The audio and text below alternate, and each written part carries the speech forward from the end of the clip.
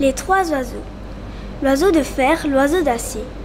Après avoir lacéré les nuages du matin et voulu picorer des étoiles, au-delà du jour, descend comme un regret dans une grotte artificielle. L'oiseau de chair, l'oiseau de plume, qui creuse un tunnel dans le vent pour parvenir jusqu'à la lune qu'il a vue en rêve, tombe en même temps que le soir dans un dédale de feuillage. Celui qui est immatériel lui charme le gardien du crâne avec son chant balbutiant, puis ouvre des ailes résonnantes et va pacifier l'espace pour n'en revenir qu'une fois éternel.